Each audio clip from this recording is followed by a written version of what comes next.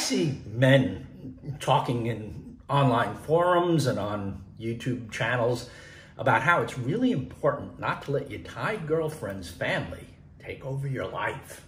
Well, I'm in clear violation of that principle, that's for sure.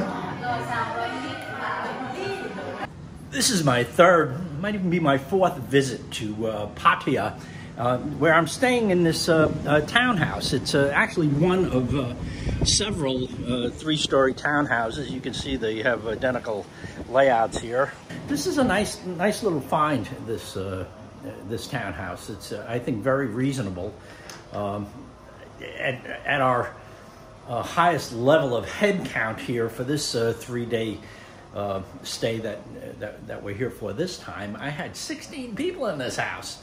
Now I claim, you know, a bedroom as my own, so the other three bedrooms in the house are are, are up for grabs. But you know, the uh, upcountry Thai people are very happy to uh, to share floor space.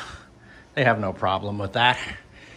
Um, so yeah, uh, you know, so what's that all about? Am I letting my Thai girlfriend's family take over my life? So yeah, I'm going to refute that uh, notion that you should be careful about that old Thai family. I guess it depends on the family. This family tends to be, uh, you know, a pretty cheerful bunch of folks, and uh, you know, I like being around them. I suppose there are families that are not like that, but you know, for a generalization, I'm going to say that, you know, something really kind of special has happened in my life because of the relationship that I have with Miss Bua Khao, my, my girlfriend, and, and her immediate family, her uh, uh, four children that have been living in my house now for nearly five years, five or six years, long time. And, uh, you know, the, the younger ones look to me as a father figure.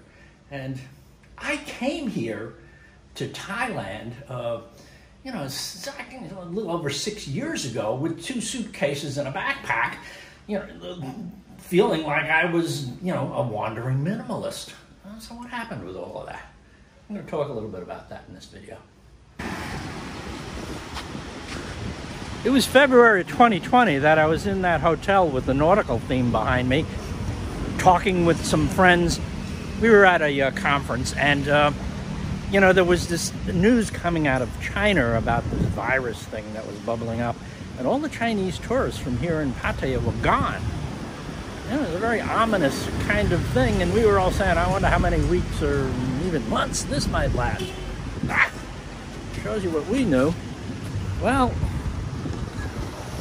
tourists are coming back finally.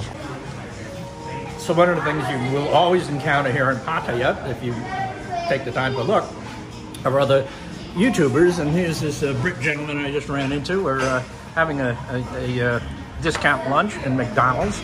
Hi, nice to meet you. Uh, and uh, yeah, good to see you, Charlie. We've been talking now for about two minutes. I've got a YouTube channel just started up by the name of Mr. Tony. Now, it's not Mr. because I'm arrogant in any way, it's Mr. because I'm a school teacher in China. And I'm here because I'm waiting to get back. Yeah, so Pattaya Beach has become kind of a, symbol for um, all the displacement that occurred over the last couple of years.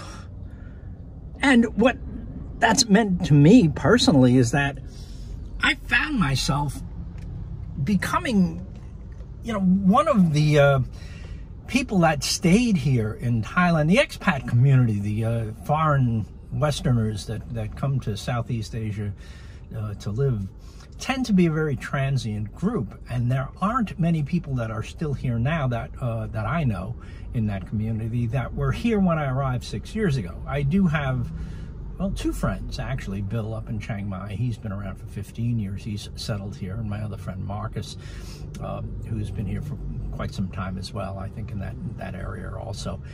Uh, but many of the other people that I came to know have gone, and um, that happens under normal conditions, but I think that the COVID uh, crisis exacerbated that. You know, people just didn't have the means to stay and they went back to their home countries, wherever that was.